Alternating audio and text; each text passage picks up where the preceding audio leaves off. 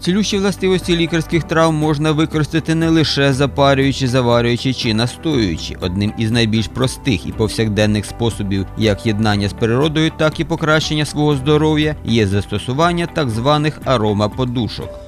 Влітку можна не поленитися і зібрати аромотрави в будь-якому лісі чи на полі і е, отримати аромат зимою.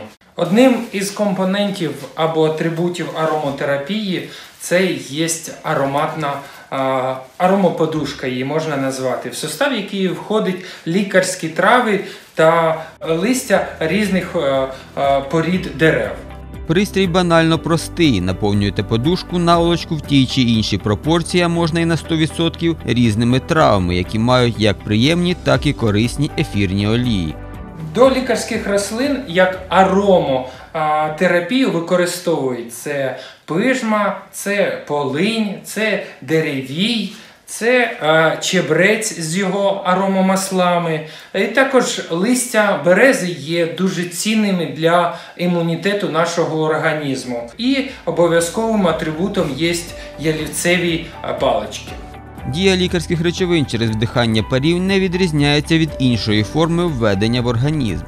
Віник м'яти рекомендований як знімає головний біль, заспокоює і омоложує сам організм. Віник полену найкращий засіб від зняття болю в шлунку чи кишківнику. Звіробій він сам знаходить ті хворі місця у людини, духмяний, смачний і е, притаманний здоров'ю. І цю траву ще називають травою від 99 хвороб.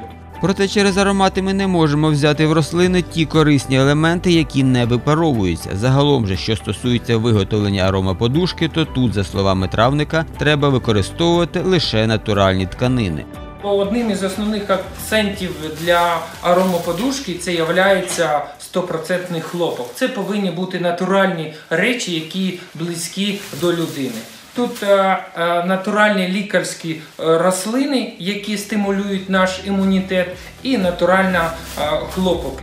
Наповнення таких подушок віддає свій аромат і за звичайної кімнатної температури. Збільшується ж випаровування у випадку підвищення температури та вологості, наприклад, у лазні.